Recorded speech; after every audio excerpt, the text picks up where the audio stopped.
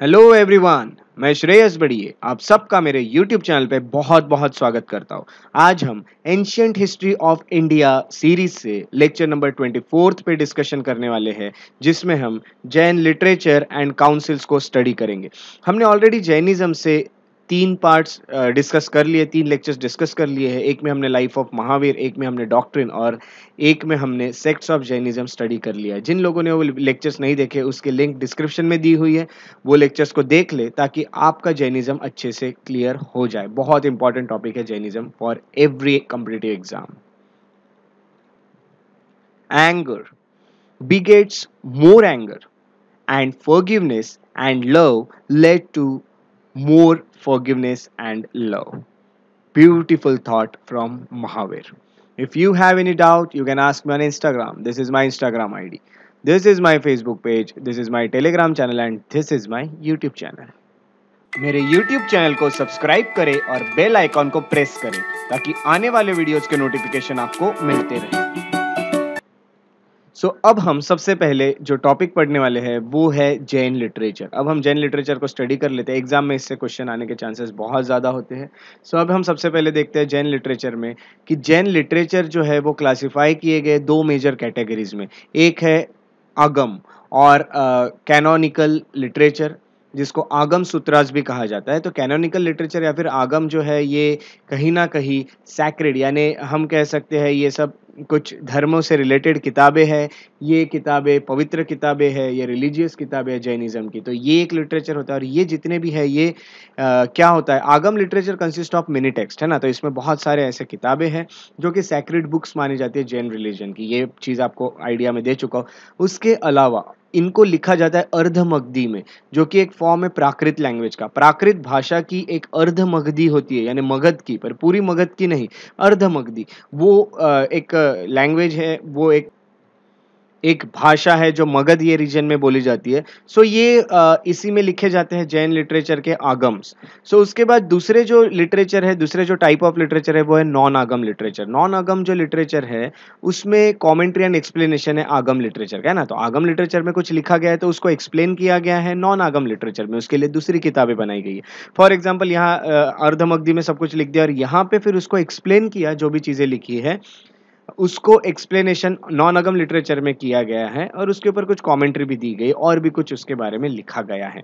ये independent works है और ये कौन बनाता है? ये एसेटिक्स और स्कॉलर्स बनाते हैं। ये जो नॉन आगम लिटरेचर होते हैं, उनको। एसेटिक यानी जो सन्यासी है वो या फिर जिन्होंने बहुत अच्छे से स्टडी करके रखी हुई है जैनिज्म की वो लोग इसको लिखते हैं। तो ये कौन कौन से लैंग्वेज में ये अलग अलग लैंग्वेजेस में लिखी जाती है ये प्राकृत में लिखी जा सकती है संस्कृत में लिखी जा सकती है अपभ्रांसा लैंग्वेज है या फिर ओल्ड मराठी है Rajasthani Gujarati Hindi Kannada Tamil German and even English में भी ये नॉन अगम लिटरेचर जो है ये लिखे गए सो so, इस तरह से दो लिटरेचर जैनिज्म में माने जाते हैं मेन लिटरेचर्स अब हम देख लेते हैं कि लिटरेचर कौन कौन से हैं। मेन लिटरेचर्स तो सैक्रेड लिटरेचर सबसे पहले देख लेते हैं जैसे कि हम आगम कह रहे हैं या फिर सैक्रेड जो हमारी पवित्र किताबें हैं वो क्या है जैनिज्म की जो कि प्राकृत या फिर अर्धमग्धि में लिखी गई। तो सबसे पहले अंगाज या जैनिज्म में टोटल ट्वेल्व अंग है।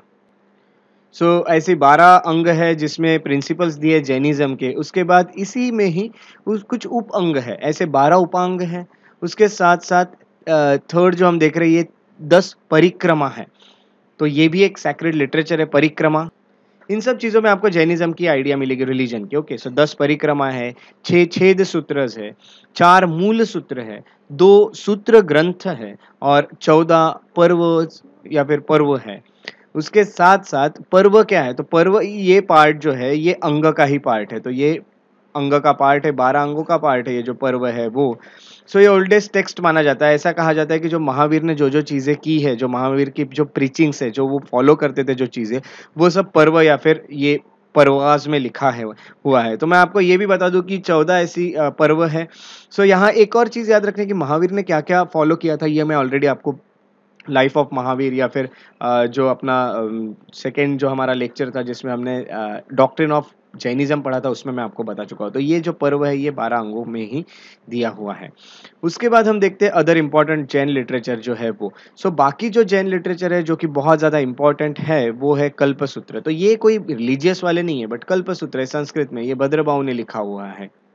ओके okay, सो so, एक तरह से रिलीजियस टेक्स्ट ही है कल्पसूत्र बट आपको ये बता दूँ ये जो कल्पसूत्र है इसमें मेनली uh, जो ऑटोबायोग्राफीज है जो जैन तीर्थकार रह चुके हैं उनकी ऑटोबायोग्राफीज इस कल्पसूत्र में दी गई है और इन्हें लिखा हुआ है भद्रबाहु ने। भद्रबाहु चरित्र यानी भद्रबाहु चरित्र है उनकी बायोग्राफी है जो भरत भद्रबाहु है उनकी तो ये भी एक किताब मानी जाती है जैनिज्म की। उसके बाद परिशिष्ट पर्वन परिशिष्ट पर्वन जो है ये जो कि हेमचंद्र ने लिखा हुआ है इसमें क्या है? सो so, इसमें दिया हुआ है जो भी इतिहास है जो भी हिस्ट्री है जो जैन टीचर्स या तीर्थकार रह गए हैं उनकी यहाँ पे हिस्ट्री दी गई है परिशिष्ट पर्वन में।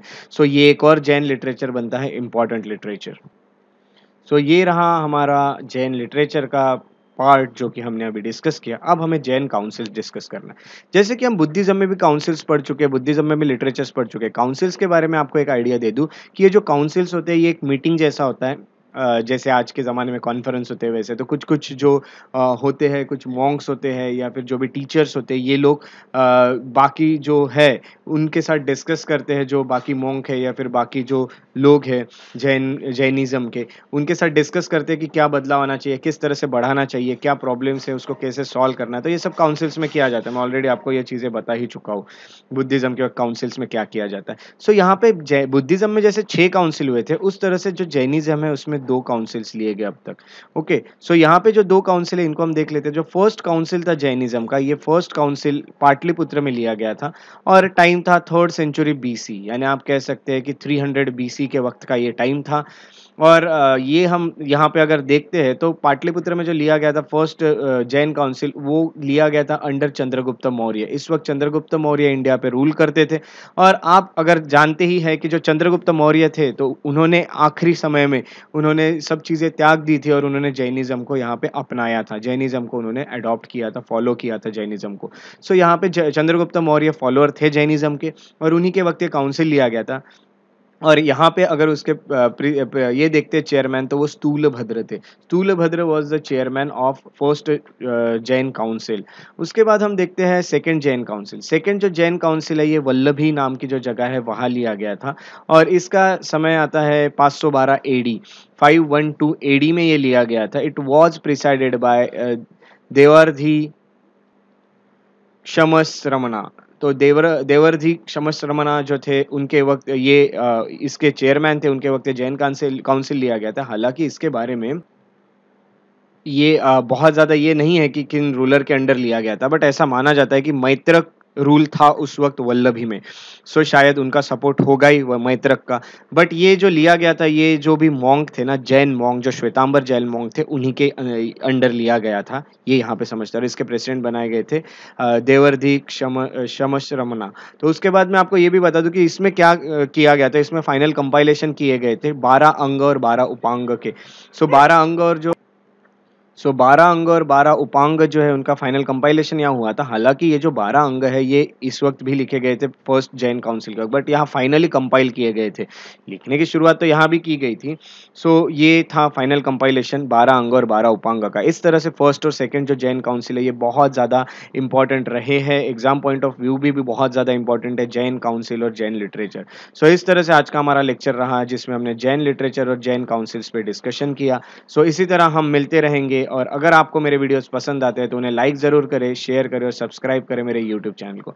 अगर आप और अपडेट्स चाहते हैं तो फॉलो और लाइक करें मेरे पेजेस को फेसबुक पे। श्रेयस बढ़िए श्रेयस बढ़िया इंटरप्रिटेशन ये मेरे फेसबुक पेजेस है आप मुझसे कनेक्टेड रहना चाहते हैं तो आप इंस्टाग्राम पे भी मुझे फॉलो कर सकते हैं या फिर मेरे बारे में और इन्फॉर्मेशन चाहते हैं तो आप श्रेयस बढ़िया द पीस लवर है मेरा इंस्टाग्राम आईडी है इस पर मुझे फॉलो कर सकते हैं। श्रेयस बड़ी at the rate Gmail dot com पर आप मुझे मेल भी कर सकते हैं।